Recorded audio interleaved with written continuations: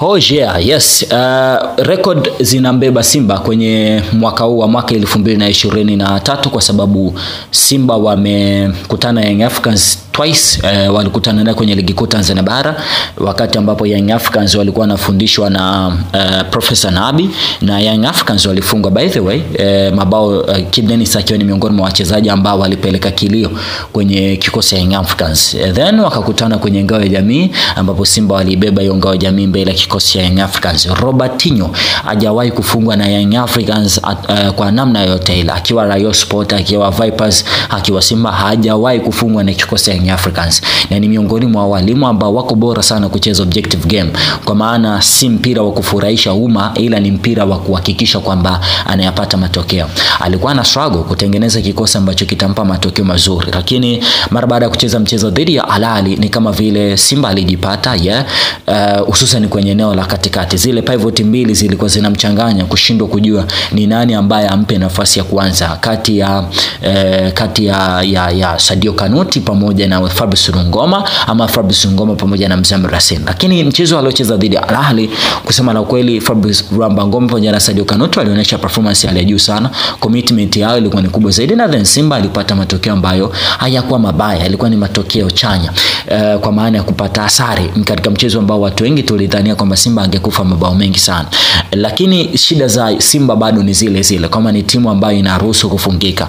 Mpaka sasa amecheza michezo kumi ya kimashindano, Simba ameruhusu kufunga mabao kumi na mbili, kusema kwamba si mzuri sana kwenye kujilinda, na amefunga mabao kwenye njia tatu tofauti, timu ikiwa possession, kwa maana isipokuwa na mpira, kupitia set pieces pamoja na counter play. Haya ni maeneo yote ambayo Simba wamefungwa na ni maeneo ambayo Young Africans wamekuwa bora kuyatumia set pieces of possession, kwa maana wanaposesi wa mpira wanapiga penetration pass pamoja na vipass uh, unajikuta unapoteza, lakini vile vile uh, set pieces Young Africans wanao most of set pieces, kwa maana Sergases nilikuwa namzungumzia, lakini uh, miongoni mwa kitu ambacho na believe kwamba Simba leo anaenda kumchallenge Young Africans ni kwa sababu ya kama tatu.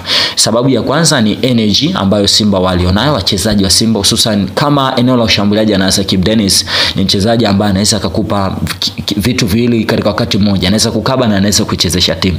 Jambo la pili ni kwamba Simba wana uimara kwenye eneo lao la ushambuliaji. Ni timu ambayo yes inaruhusu kufungika, lakini wao wakipata nafasi wana uwezo mkubwa sana wa kukufunga. Kikosi cha Simba ambacho na believe leo kinaenda kuanza na believe kwamba Salim uh, Salim anaenda kuanza langoni, Shomari Kapombe na Mohamed Hussein huwezi kuwakwepa, Shemalon Fondo ukuta wa Yeriko pamoja na Enoki Nonga Baka Verane uh, beki bora Tanzania, naamini watasimama kwenye center back. Pivot naamini atakuwa ni Fabrice Rwamba Ngoma pamoja na Sadio Kanuti wao wakimuita Putin.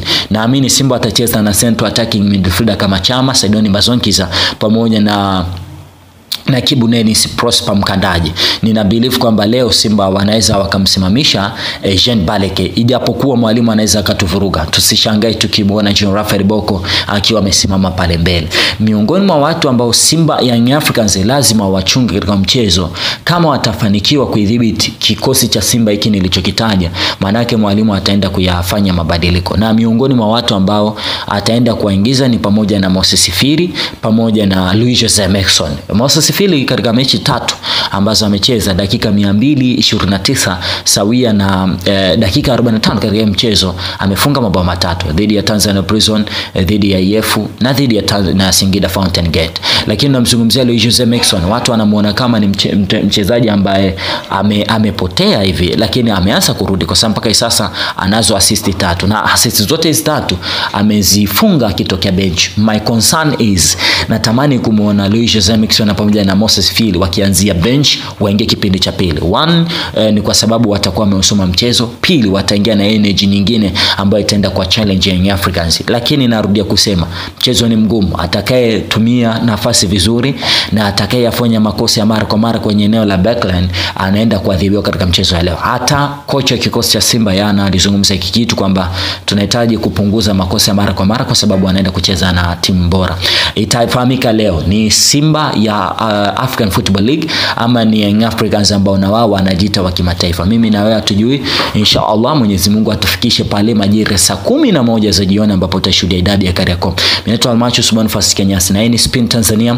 Usisahau Spin Tanzania Media, usisahau kusubscribe, kucomment, kulike na kushare ili wa kwanza kuzipata taarifa. Bye bye.